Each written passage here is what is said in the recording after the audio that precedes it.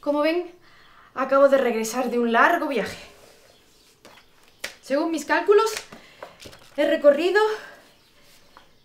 3.623 con 45 millas. Distancias. ¿Se imaginan un mundo en el que no pudiéramos medir distancias? No podríamos estimar el tiempo que tardaríamos en llegar a un sitio, o cómo de grande es el lugar en que vivimos. ¿Andaríamos a ciegas? Pues en astronomía ocurre algo parecido. Un cielo estrellado es una visión hermosa, pero no nos dice nada acerca de la distancia a la que se encuentran las estrellas. Nuestra visión del universo es plana, como la de una diapositiva. Desde siempre los astrónomos hemos pretendido conocer a qué distancia están el Sol, la Luna, los planetas, las estrellas. Conocer cómo de grande es el universo donde vivimos. El problema es que no hay una regla tan grande como para llegar a las estrellas. Y desgraciadamente tampoco tenemos unas gafas 3D.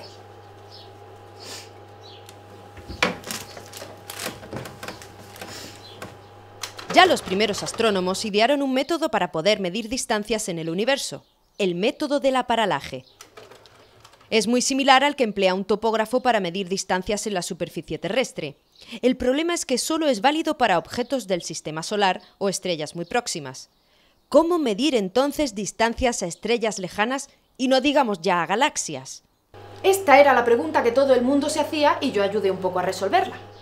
¿Recuerdan algo que les dije acerca de unas estrellas variables que descubrí en la pequeña nube de Magallanes?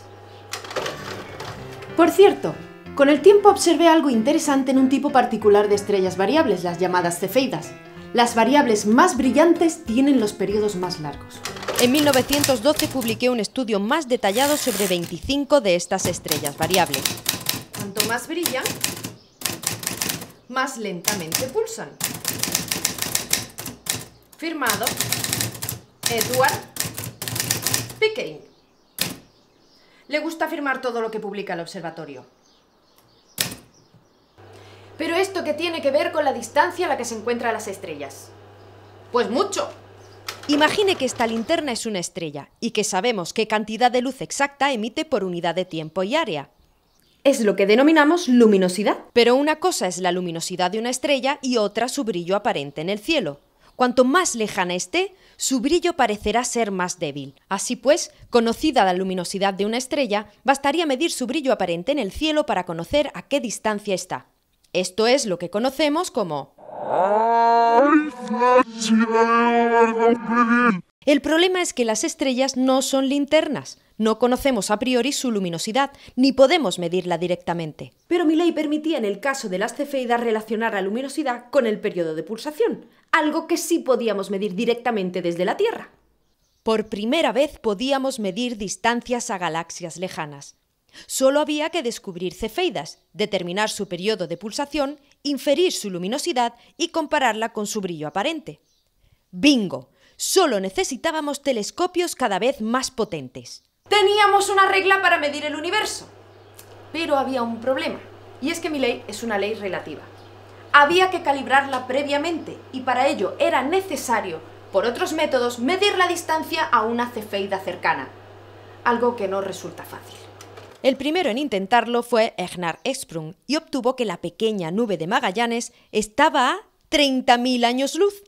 Se rieron de él. Era imposible que algo estuviera tan lejos. En realidad está a 200.000 años luz, pero entonces no lo sabíamos. Yo quería seguir investigando, pero Pickering de nuevo me derivó a otras investigaciones. Uy, debe ser Annie que sabe que he regresado. Ya seguiremos en otro momento. ¡Ale! ¡Puerta!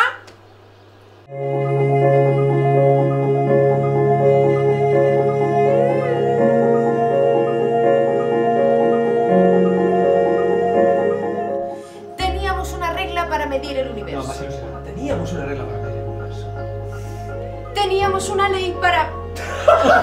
¡Para la regla! ¡Pobrecita! Teníamos la ley para la regla. Cocción. ¡Cocción! ¡Es verdad! ¡Me estoy cociendo!